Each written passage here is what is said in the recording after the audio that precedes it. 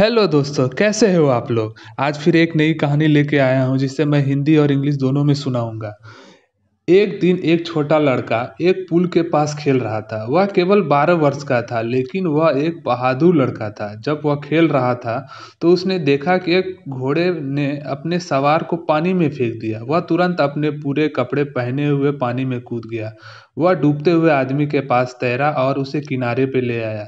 सभी ने बालक की हिम्मत की तारीफ़ की और अब इंग्लिश में one day a little boy was playing near a bridge He was only 12 years old, but he was a brave boy. As he was playing, he saw that a horse had thrown its rider into the water. He at once jumped into in the water with all his clothes on. He swam up to the drowning man and brought him to the bank. Everybody praised to the courage of the boy. Thank you.